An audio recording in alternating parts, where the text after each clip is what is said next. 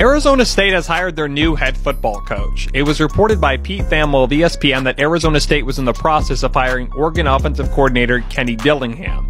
On Sunday, it was announced that the Sun Devils and Dillingham were working on a long-term contract. The 32 year old will be the youngest head coach in the Power 5, and he is originally from Arizona. Dillingham graduated from ASU in 2012 and started his coaching career in Arizona as an offensive assistant. He was with the program from 2014 until 2015. In 2016, he left for Memphis as a grad assistant. Dillingham became the team's offensive coordinator in 2018 and then left for Auburn in 2019 as the same position. After Auburn, he reunited with Mike Norvell at Florida State the next year. Two years later, Oregon's new head coach hired Dillingham as the team's OC.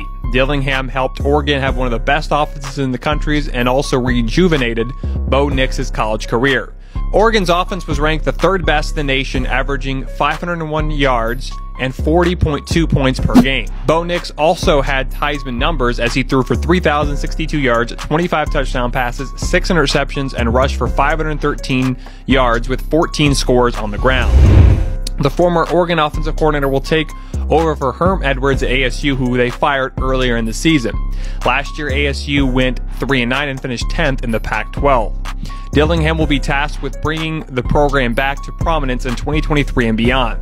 The Sun Devils football program is also currently dealing with many NCAA violations that included recruiting penalties back in 2020 during the COVID dead period. Kenny Dillingham has a lot of work to do at ASU, and it will take the Sun Devils a few years to rebuild the program that has struggled the last few years.